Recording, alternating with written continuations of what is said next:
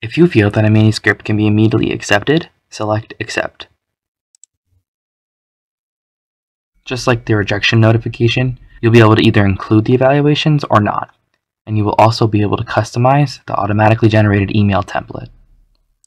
Your templates will allow you to include the evaluations or not.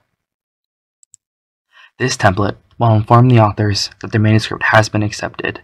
However, it'll inform the author that they need to make sure the manuscript meets all the necessary requirements before we can proceed with publication. Select Accept and Send Notification Email when you are ready to send the notification to the author. In most cases, a manuscript needs to go through further revision, as indicated by ERB reviews and AE reviews, before it can be accepted for publication. To do so, select Request Revision slash Materials. This will take you to a three-step process. You'll be able to select evaluations to officially make available to the author. You will then need to decide on a due date that the revision will be due. We recommend giving authors no more than four weeks to complete their revision. In step 3, you can customize and send the email to the author. This email is a bit more extensive than the others. You have four different options. You can send the straightforward revision required notification, which will communicate to the authors that you believe the coverage of their article should be strengthened before the manuscript can be officially accepted.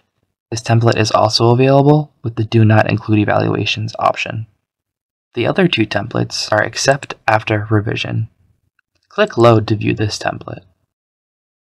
In the instances where you would like to accept an article for publication, but you would also like them to make revisions, choose this template. This is essentially a conditional accept. You can choose this option with include evaluations or do not include evaluations. Please note that we always recommend including evaluations with your notifications to the author.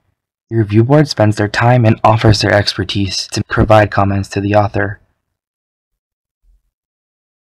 In addition to providing the evaluations to the author, this template will also ensure that the author meets all the necessary requirements before it can be officially accepted for publication.